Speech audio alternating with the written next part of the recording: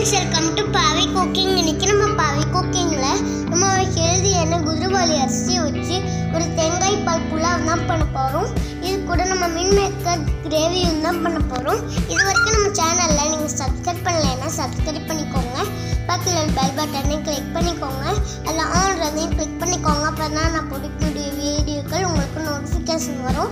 இப்போ இது எப்படி பண்ணலான்னு பார்க்கலாம் வாங்க. ஃபஸ்ட்டு வந்து ஒரு குக்கரில் நான் ரெண்டு டேபிள் ஸ்பூன் அளவுக்கு எண்ணெய் விட்டுக்கிறேன் இது கூட ஒரு பட்டை மூணு கிராம்பு ரெண்டு ஏலக்காய் ஒரு ஸ்டார் பூ இது கூட கொஞ்சமாக ஜீரகம் ஒரு பிரிஞ்சி இலை. பிரிஞ்சி இலை வந்து சேர்த்ததுக்கு அப்புறமா ஒரு வெங்காயத்தை நறுக்கி வச்சிருக்கேன். அதை வந்து சேர்த்துக்கிறேன். இது வந்து நல்லா வதக்கி விட்டுக்கோங்க. வெங்காயம் வந்து நல்லா வதங்கி வரணும். அதுக்கப்புறமா ஒரு ஸ்பூன் அளவுக்கு நான் இஞ்சி பூண்டு பேஸ்ட் சேர்த்துக்கிறேன். இது வந்து நல்லா கலந்து விட்டுக்கோங்க. இது கூட காரத்துக்கு ஏற்ற மாதிரி ரெண்டு பச்சை மிளகாய் இது கூட பாதி கேரட் வந்து கட் பண்ணி வச்சுருக்கேன். அதை வந்து சேர்த்துட்டு நல்லா கலந்து விட்டுக்கிறேன். இது கூட நம்ம ஒரு கைப்பிடி அளவுக்கு புதினா சேர்த்துக்கலாம். புதினா வந்து சேர்த்ததுக்கு அப்புறமா நல்லா கலந்து விட்டுக்கோங்க. இது கூட ஒரு மூணு டேபிள் ஸ்பூன் அளவுக்கு தயிர் சேர்த்துக்கலாம். ரொம்பவும் புளிக்காத தயிராக சேர்த்துக்கோங்க. தயிர் வந்து சேர்த்ததுக்கு அப்புறமா நல்லா கலந்து விட்டுக்கலாம். இது கூட நான் கப்பால் குருவாளி அரிசி வந்து அந் அது நல்லா இருக்காவ நான் ஒரு கப்பல் அளவுக்கு தேங்காய் பால் சேர்த்துக்கிறேன். இது கூட ஒரு கப்பல் அளவுக்கு தண்ணியும் சேர்த்துக்கலாம். இது வந்து நல்லா கலந்து விட்டுக்கோங்க. இது கூட நம்ம ஒரு பத்து நிமிஷத்துக்கு முன்னாடி தான் நான் ஊற வச்சுருந்தேன் குருவலி அரிசி வந்து அதை வந்து நான் இதுக்குள்ளே சேர்த்துக்கிறேன். இது கூட தேவையான அளவுக்கு உப்பு இது கூட கொஞ்சமாக லெமன் ஜூஸ் வந்து சேர்த்துக்கிறேன். இது வந்து நல்லா கலந்து விட்டுக்கலாம். இது வந்து குக்கரை மூடி ஒரு விசில் வச்சதுக்கு அப்புறமா இது வந்து ஒரு பத்து நிமிஷம் வரைக்கும் சிம்மில் வச்சுட்டு ஸ்டவ் ஆஃப் பண்ணி கீழே இறக்கிக்கோங்க.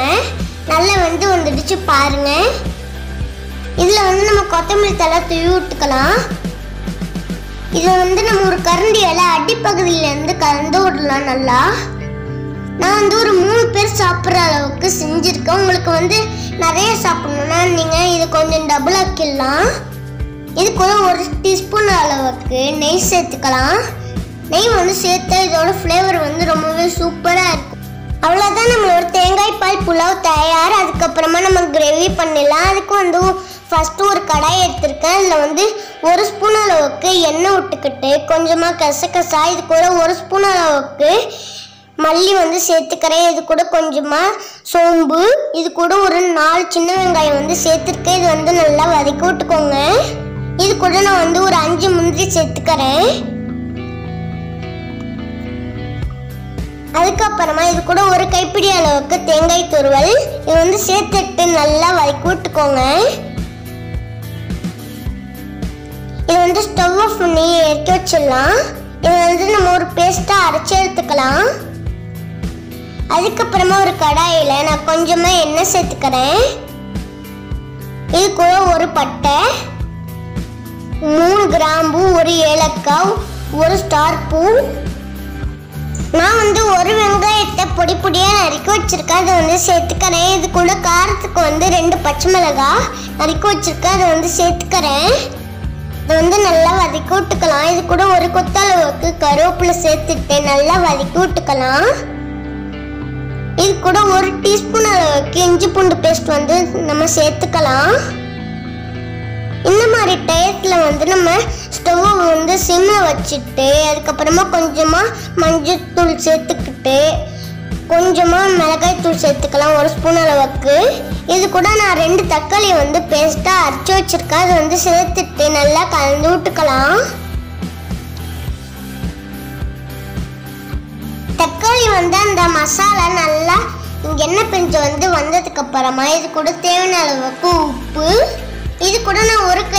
கைப்பிடி மின் மேக்கரை வந்து சுடு தண்ணியில் ஒரு பத்து நிமிஷம் வரைக்கும் நல்லா ஊற வச்சுருந்தேன். அதை வந்து எடுத்துட்டு நல்லா புழிஞ்சுக்கலாம். அதுக்கு இல்லை இந்த தண்ணிலாம் வெளியே வர்றதுக்காக அது வந்து இது கூட சேர்த்துட்டு நல்லா கலந்து விட்டுக்கலாம். இது வந்து ஒரு ரெண்டு நிமிஷம் வரைக்கும் நல்லா வேகட்டும். இது கூட நம்ம வந்து பெஸ்ட்டாக அரைச்சி வச்சிருக்கோம்லே அதை வந்து சேர்த்துக்கலாம். இந்த மாதிரி டயத்தில் நம்மளுக்கு தேவையான அளவுக்கு தண்ணி சேர்த்துக்கலாம். நம்ம வந்து கசகசாவும் முந்திரியும் சேர்த்ததால கிரேவி வந்து நல்லா திக்காக தான் நம்மளுக்கு கிடைக்கும்.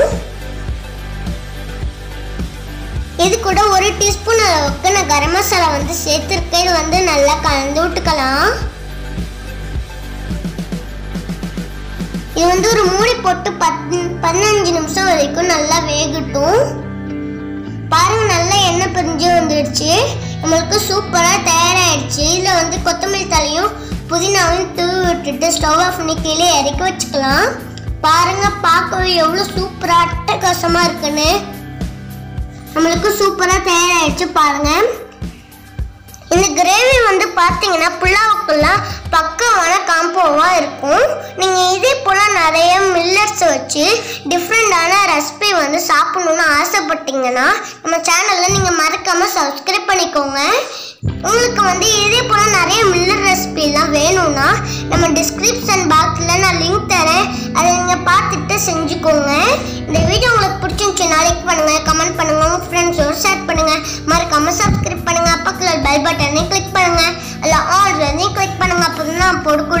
வீடியோக்கள் உங்களுக்கு நோட்டிஃபிகேஷன் வரும். இந்த வீடியோ ட்ரை பண்ணிட்டு உங்கள் ஃபீட்பேக்கை நம்ம கமெண்ட் செக்ஷனில் போடுங்க. நன்றி friends bye bye thank you for வாட்சிங்